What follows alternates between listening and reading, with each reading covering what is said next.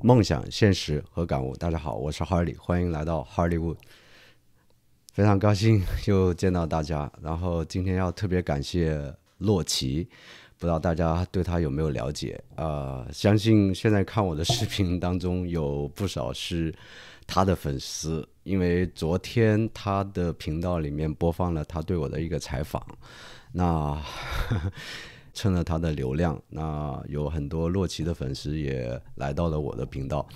那所以的话，我在这里首先要感谢洛奇以及他的粉丝。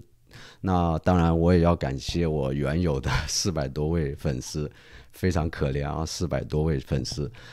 那正因为有你们啊的支持，所以我才有动力去做视频。然后我想说的就是啊，通过洛奇的采访对我有很大的启发，也对我将来做这个 YouTube 有会有一些帮助。呃，真的啊，不叫有一些帮助，是应该有很大的启发。我在接下来会一点点跟大家讲，在我的粉丝当中，估计有一些。还不了解洛奇的，那我会在我的视频底下发他的那个视频道的链接，这样的话大家可以直接去看他的视频，然后了解了解洛奇。那我在这里接下来就是 他给我带来很多流量啊，那我同时我也反馈一点，虽然是根本不对称的啊，大概一年多前我就看到了他的视频，那从他的视频里面我能非常。呃，直接的感受到他的真诚以及勇敢，然后包括他的毅力，就是他在一年，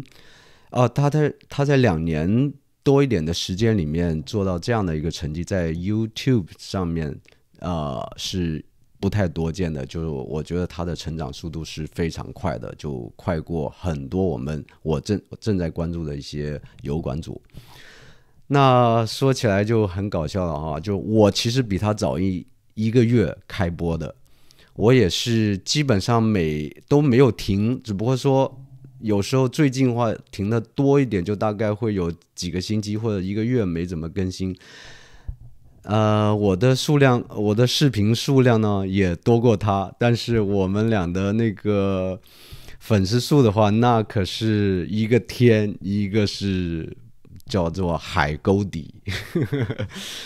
他是有二十多万粉丝了，那我才四百多位粉丝，也就是昨天之前哈。那昨天他的视频播放之后，就给我涨粉了将近一百个粉丝。那在这里真的要感谢他。那我也很惭愧，因为毕竟啊那些粉丝过来我这里的话，发现其实没有什么内容。那这也就是我接下来我要想说，我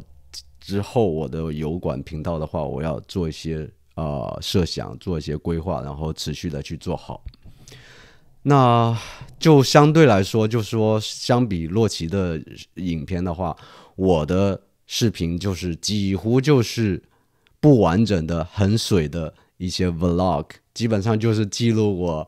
去拍戏啊，然后去冲浪啊，然后就随手拿手机这样拍的，就没有一个啊特别好的。呃，就说嗯，设计啊，或者说哪怕是做一些提纲我，都没有，就是，唉，说白了就是水吧，就很水，就是有一些数量，就是我在做视频，但是没有质量，没有内容。那洛奇的视频的话，就是每一期他都是有精心的设计和安排，然后去持续的做。所以他的成绩那是他应得的。那我的话，其实是对我这样的一个不够认真、不够负责任的一个油管组的一个直接的，就说呃回馈，也就是那样，就是呃有限的粉丝。但是我也，但是我还是要感谢我四百多位原原粉丝啊，我非常感谢他们，因为呃还是有你们支持嘛，就是至少不是一个没有，至少不是。一个人都不看的这种视频，还算是有那么呃几百个粉丝，然后偶尔会看一下。那接下来的话，我会就在我的视频里面就会多一些感悟方面的，因为我的这个视频的呃，我这个频道的名字就叫 Harley Woo 嘛，Harley 是我的名字，我叫 Harley，然后悟是感悟的悟，Harley Woo 就像那个我们特别向往的。好莱坞这个谐音嘛，所以我就是有一点在啊借助好莱坞，然后表达我就影视的方面能够有一些小小的成绩啊，那这就是我的视频和我本身本个人的一些想法。那将来的话，我会在感悟方面做更多的一些呃分享，然后另外的话，我会持续的再继续呃我之前的一些电影人的采访，因为其实每拍一部戏，每每一次拍戏，你都会接触很多新的演员、导演、制片人和各个部门的呃很优秀甚至非常有才的那个电影人，那他们都有他们特别。呃，值得去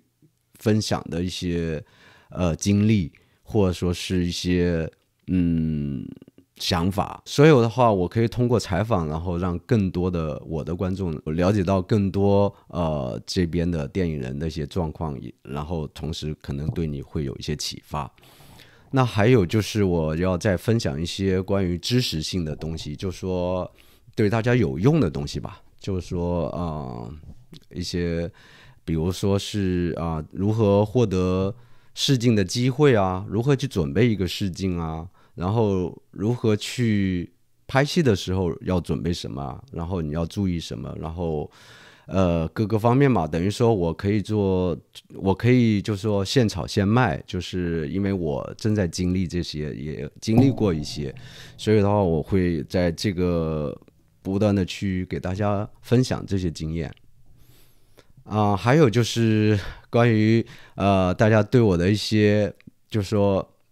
如何平衡家庭和孩子之间的一些关系？那这些方面的话，我想也要做一些视频来去跟大家去分享，因为毕竟我是三个孩子的父亲，那我也不可能就说呃不管不顾，然后只为自己的梦想。虽然做的不成功，但是也是有一些经验可以分享，或者说是让大家来去给我一些建建议的方面。这个我也会在将来的节目里面去多做。所以今天的话，我还是再次感谢大家。订阅我，然后感谢洛奇，希望将来的视频对大家会更有用。好，拜拜。